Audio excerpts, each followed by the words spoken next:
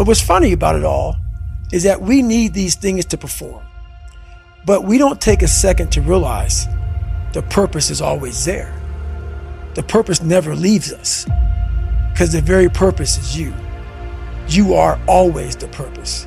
There may be another purpose, like being a SEAL or going to college or whatever, but the main purpose in life is you.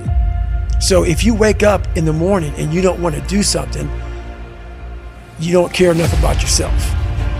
And that's what you need to really research is, man, why am I not doing this for myself? Because that is that is the number one purpose in life is to better oneself. So that's the only purpose I fucking need. So the reason I get up every day, even though there's no race or there's no school or there's nothing in front of me, is because I have pride in myself. Well, where do you go to? You wake up on a morning, it's cold, it's hmm. wet, it's dark, you've got no cartilage in your knee, you've hmm. got shitty shorts, whatever it is that's the issue today. Keep talking. It's warm on the couch. That's your it. missus says stay in That's bed. it. It's comfy, That's it's cozy. That's You've got it. work later on. You had an argument last night. You're slightly it. hungover. Because I know every motherfucker ain't gonna do what I'm gonna do. So this is how you level up. That's how you level up. I know there's a whole bunch of people with that right there. That fires me up. That makes me fucking happy what you just said. That brings joy to my life right there. Why? Because I know there's so many people that have the ability and just refuse to get off that couch.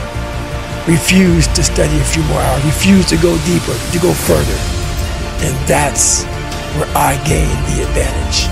It's so easy to be great nowadays, my friend, because most people are weak. Most people don't want to go to that extra mile. Most people don't want to find that extra because it sucks. It's miserable. It's lonely. You talk about that you were kind of, you know, lonely by yourself. I was the same way. And that used to hurt me growing up.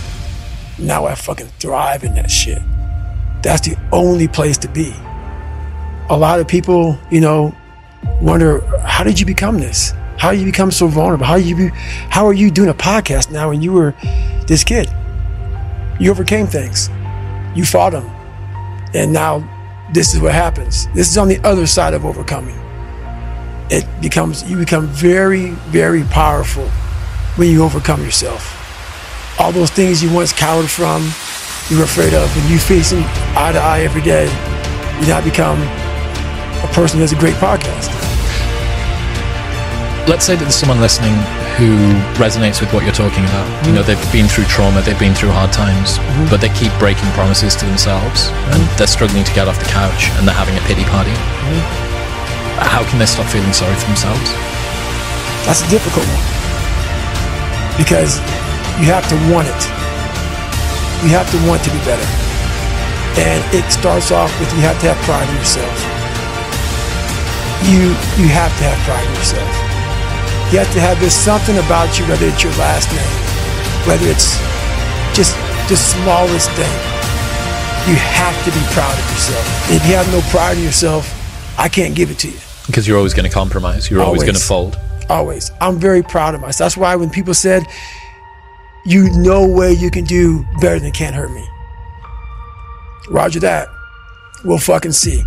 Because a lot of people, when they think about working out, they think of it as being a physical thing. Right. No. No. I did it for mental. Yeah. People always say, my God, like, no. Don't don't look at it like I didn't care about losing weight. I didn't care about being the fastest person. I didn't care about I wasn't making the Olympics. I wasn't going to pros. I could barely read and write when I was in a junior in high school. I wasn't going anywhere. I saw working out as a way for me to build calluses on my mind. I had to callus over the victim's mentality. So I watched these movies. I, you know, I talked about Rocky last time I was on here. I always equated training to mental toughening. Like it always looked brutal. People waking up early and doing all these things and look look horrible. I was like, wow, man, I gotta start doing that. Not to get better, bigger, and stronger, but that is what's gonna build me. That looks uncomfortable. That looks brutal. And getting up early, I don't want to do that. So I made this long list of things I don't want to do. And through that, I found myself. I started like I'm like, you guys aren't doing this shit in high school. You guys aren't getting up at five o'clock in the morning, running over here in this golf course. So I started seeing myself very differently than, than the average human being. I was like, hold on a second. I have something they don't have. And that's when I started to develop these things through working out. It was this great, never ending work ethic.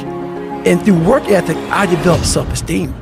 Now, is this something that you learned? Is this something you learned yourself from from exercise yourself, or is this something you had read or heard about? Like, what made you equate this doing this and doing these difficult things physically to mental toughness to being this is the discipline that you need in order to get your life out of the situation you're in? So I never read anything. You know, I, I could barely read. You know, so Right. I wasn't reading back then.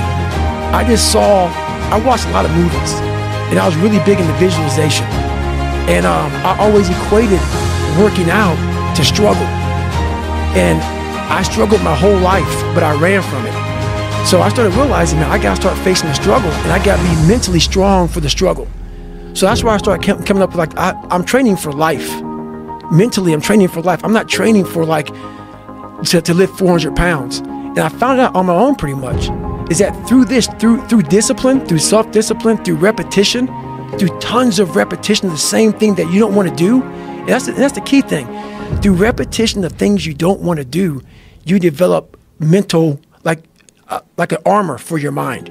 Start to armor your mind because your mind's like, okay, we suffer, we suffer every day. It's what we do. We do stuff that sucks every day. So then when the suck stuff comes, you're ready for it.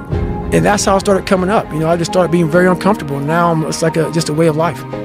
It's a crazy thing to figure out, though. It's like that you figured it out, and you didn't just figure it out; you embraced it. Like when you were talking about your senior year of high school, when you were talking about your your mirror being your accountability mirror. Like you had a radical shift. Like you just decided to not be a fucking loser, and to start tightening up and start holding yourself accountable and, and get ready for things. So I had this my whole life. I mean, I don't know if people believe in God or what. I don't care what you believe in. There's been this unrelenting voice in my head. We all have this voice. It's the right or wrong voice. And a lot of times that voice guides us into comfort.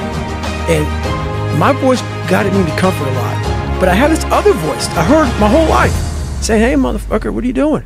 Nah, man, we got to go over here. We got to go over here to, to that rock pile over in the fucking corner where nobody's at. That's, that's where victory's at. We're over there in that corner. So this voice was giving me all these answers. Not, I wasn't a real smart kid growing up, but I had this crazy voice in my head saying, over there is where the fucking answers are. And I wouldn't listen to it because over there was pain. Over there was me looking in the mirror. Over there was me being accountable for all these things I went through my life. Even though people put them on me, it's now mine to own. And I didn't want to go over there by myself, but I had to. And this voice was guiding me there. I- It's God, whatever you want to call it. Uh, but that's what that's what it was in me.